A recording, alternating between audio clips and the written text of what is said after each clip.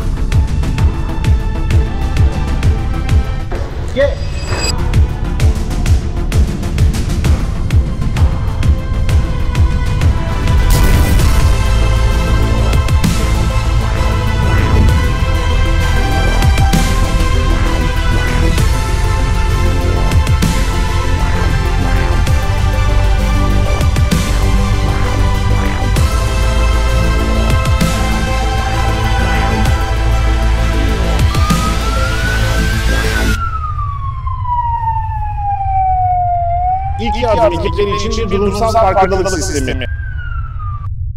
Herkese merhaba ben Tolga Özbek. Bugün sizlerle beraber Bursa'dayız ama Bursa'da çok önemli bir savunma sanayi teknolojisinin hayatımızın içine nasıl girdiğini ve zor günlerde yani olağanüstü durumlarda, depremde, bir patlamada nasıl hayatımızı, hayatta kalabilirliğimizi arttırdığını beraber göreceğiz. Bugün TeamAware olarak adlandırılan Avrupa Birliği'nin oluşturduğu projede Havelsan'ın rolüne bakacağız. Havelsan aslında birçok videolarını yapıyoruz. Savunma sanayimizin çok önemli bir yazılım şirketi, simülasyonlar geliştiriyor ve bu geliştirdiği teknolojiyi hayatımızın içine bir doğal afette koyuyor. Hatırlayacaksınız birkaç gün önce Kahramanmaraş'ta depremin yıl dönümüydü. Binlerce insanımızı kaybettik ve bugün yapılacak bu gösterim sırasında farklı farklı senaryoları göreceğiz. Bu teknolojiler nasıl hayatımızın içine giriyor beraber izleyeceğiz. Bu 3 yıllık bir proje. Arada ağır bir deprem yaşadık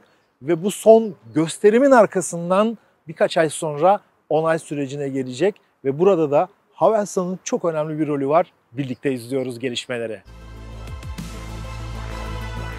Havelsan olarak koordinatörlüğünü yürütmekteyiz bu projenin. TeamAware yolculuğuna bundan 3 sene önce başladık. TeamAware'in ülkemiz içinde şöyle bir güzelliği vardır. Türkiye'de ilk defa e, Horizon'da e, güvenlik alanında 15 üzerinden 15 tam puan alarak 92 proje arasından birincilikle %100 hibe almayı hak kazanmış bir projedir. TeamAware'in ne olduğunu anlatmam gerekirse ilk yardım ekipleri için bir durumsal farkındalık sistemi ortaya tasarlanmaktadır. TeamAware'deki bu durumsal farkındalık sisteminin kapsamında görüntüyle olay yeri analizi bulunmaktadır. Sesli tanıma sistemleriyle uzaktaki patlamaların, silah atışlarının, veya insan seslerinin tehlikeli olaylarda veya felaket gibi olaylarda e, yığın altında kalmış insanların sessiz tespit edilmektedir.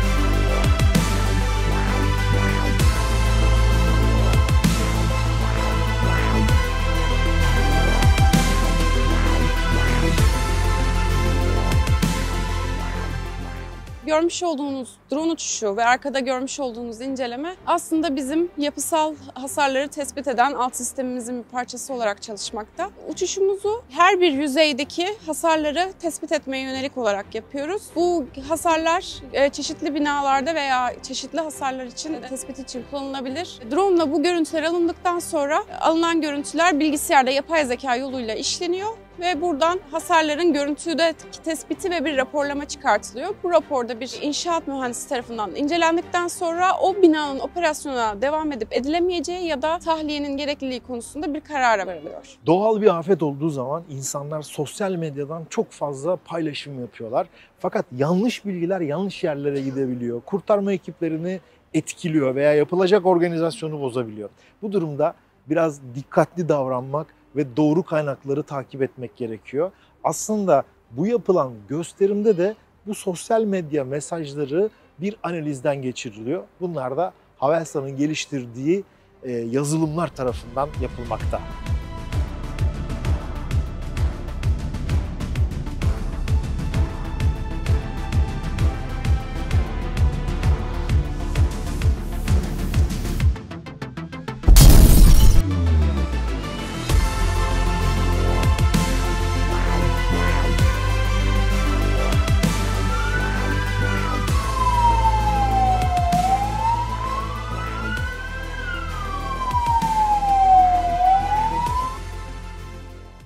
İzleyeceğimiz gösterim aslında bu proje kapsamındaki en kapsamlı gösterimlerden bir tanesi. Bunun sebebi ise TeamAware'in altındaki iş paketlerinin birçoğunun burada beraber çalışmasına şahit olacağız. Bu iş paketlerinin nasıl dahil olacağı ise bu gösterimin senaryosuyla aslında belirlenmiş bir noktada. Burada uygulanacak senaryo, burada canlandırılacak senaryo şu şekilde gerçekleşmesi planlanıyor. Öncesinde bir patlamaya ilişkin sosyal medya üzerinden bir takım paylaşımlar sistemler tarafından, bir iş paketimiz tarafından saptanıyor. Ardından bu e, saptama doğrultusunda akustik tespit sistemimiz bir drone ile bölgeye intikal ediyor. Ardından bir patlamanın tespitiyle, bir kimyasal dağılımın şüphesiyle ortama bu sefer kimyasal sensörleri taşıyan birimler taşınıyor. Bölgedeki saptamalar tamamlanıyor. Ardından Tabii bu bahsettiğim hepsi gene TeamAware'in altında çeşitli alt sistemlerden, çeşitli iş paketlerinden oluşan birimler. Sonrasında bölgeye ilk yardım ekipleri, bunlar itfaiye ve paramedik ekipler intikal ediyor. Bu birimlerde ise bu sefer giyilebilir sensörlerimiz bulunuyor. Bunlar kişilerin hayati bulgularını ölçen, nabız gibi, kandaki oksijen gibi, ten sıcaklığı gibi e, bu hayati bulgularını ölçen aynı zamanda bu kişilerin konumlarının GPS olduğu halde ya da olmadığı halde belirli bir doğruluk oranıyla saptanmasına yarayan sistemlerin kendileri üstünde barındırarak olay yerine müdahalede bulunacaklar. Ee, aynı zamanda olay yerinde de çeşitli kurbanlarımız olacak. Ee, bu olaydan etkilenmiş kişiler bulunacak. Onların da e, bu ilk yardım ekipleri tarafından kurtarılması gerçekleştirilecek. Aslında TeamAware projesi dual use diyebileceğimiz çifte kullanıma açık bir proje ve az önce size senaryoda bahsettiğim e, bu kişinin aktivitelerinin ve kişinin hayati bulgularının saptanması yönünde geliştirilen sistemler aslında bizim tarafımızdan geliştirilen sistemler. Bizim bu noktada edindiğimiz bilgi birikimi aslında Havelsan içinde de şu anda dijital asker, dijital birlik konsepti altında geliştirmekte olduğumuz Cengaver projemizde kullandığımız bir alt sistem olarak devam edecek. Biz bunun geliştirmesine Havelsan içinde savunma sanayi odaklı olarak devam edeceğiz.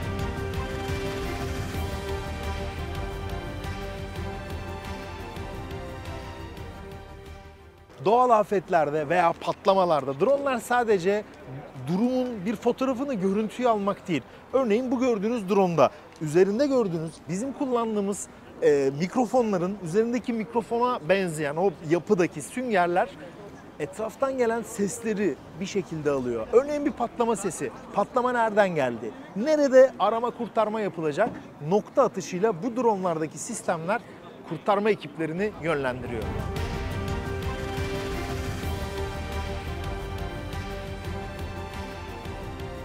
Büyükşehir Belediyesi olarak biz e, Ali Başkanımız, Belediye Başkanımız Ali Başkanımızın öncülüğünde bu tarz inovatif projelere çok önem veriyoruz ve destek veriyoruz. Daha önceden de Avrupa Birliği projelerinde yer almaya çalıştık. E, bu çerçevede de Havelsan'ın e, önderliğinde 2018'de başlayan bir süreçle TeamAware projesinde yer aldık.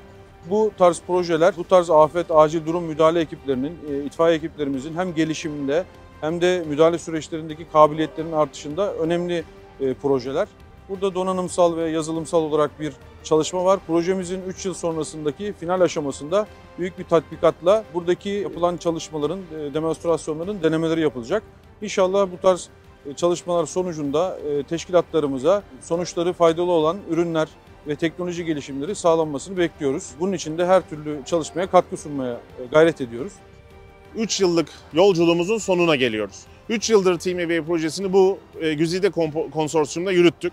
Şimdi artık gösterim zamanı. 5 Şubat'ta ve 6 Şubat'ta son kullanıcı eğitimlerimizi tamamladık. 7 Şubat ve 8 Şubat'ta da e, Bursa Büyükşehir Belediyesi'nin ev sahipliğiyle ve kendilerine çok müteşekkiriz bu konuda. Ev sahipliğiyle e, demolarımızı gerçekleştirmekteyiz. Bütün bu demin anlatmış olduğum, detaylarını vermiş olduğum bütün bu sistemlerin demosunu gerçekleştireceğiz ve ARGE e ve araştırma projesi olarak yapmakta olduğumuz TeamAway projesinden daha sonrasında daha büyük bir yatırım alarak artık ürünleştirmeye çalışacağız ve hem Türkiye'de hem de dünyadaki son kullanıcılara ulaştırmayı planlamaktayız.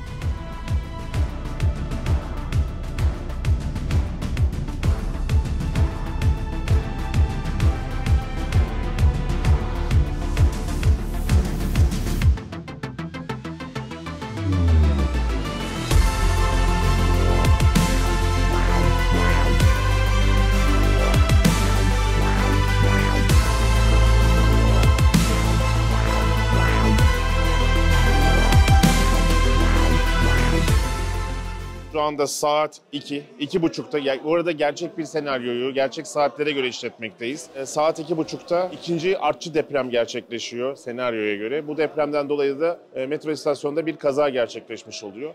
Metro istasyonundaki kazada vagonlar devriliyor. İçeride yaralılar var. İçeride ışık yok, elektrik yok, her yer karanlık. Team Evair'in altında geliştirilmiş olan sistemlerle itfaiye erleri, ambulans görevlileri, sağlık görevlileri ve e, ilk yardım, acil müdahale ekipleri birlikte çalışarak bir kurtarma operasyonu gerçekleştirecek. İnfrared ayar kameralarla içeride kişiler tespit edilecek, yaralılar tespit edilecek, insanlar bulunacak. İçeride acil müdahale ekiplerinin gelemediği yerlere dronlar uçurulacak ve yani insanların rahatlıkla gidemediği yerlere dronlar uçurularak orada canlı var mı? Bu arada her türlü canlı, sadece insan değil, evcil hayvanlar, e, her türlü e, canlı varlığın tespiti yapılacak ve bunların kurtarılması gerçekleştirilecek. Vücuda giyilebilir sensörlerle triyaj yapılabilecek. Yani kişinin sağlık durumu tespiti yapılacak. E, Devamında da diğer demolarda olduğu gibi acil müdahale ekiplerinin sağlık durumu ve konumu canlı olarak merkeze aktarılacak. Operasyon özetle bu şekilde olacak. Merhabalar, ben bir bölüyorum sizin konuşmanızı. Daire Başkanım, her şey için çok teşekkür ederiz. Teşekkür ederiz. Dört gündür bizi burada ağırlıyordunuz. Estağfurullah, hayır, ne demek. Recep Bey partnerimiz sizsiniz. Bu altyapı için teşekkür ederiz. E, Herkese burada teşekkür ediyoruz. Tüm daire başkanları, tüm e, personeli. Bursa Büyükşehir Belediyesi olarak bizi burada ağırladınız. Bize bu altyapıyı sağladınız. Team Evair projesi kapsamındaki son gösterimimiz için bir çalışma ortamı sağladınız. Tüm itfaiye erleriyle beraber yaklaşık burada bir 30 kişi daha vardı. Teşekkürlerimizi Havelsan adına size tekrar etmek istiyorum. Bugün Bursa'daydık ve çok farklı bir uygulamayı beraber gördük. Avrupa Birliği ile oluşturulan Team Aware, Türkiye'deki en önemli ayağı tabii ki Havelsan ve ev sahibi olarak da Bursa Büyükşehir Belediyesi. Burada aslında savunma sanayi için gerçekleştirilen, geliştirilen teknolojilerin nasıl hayatımıza dokunduğunu gördük. Aslında savaşlar için geliştirilen bu teknoloji görüyorsunuz acil durumlarda hayat kurtarıyor. Farklı farklı alanlarda insanların hayata tutunmasını sağlıyor.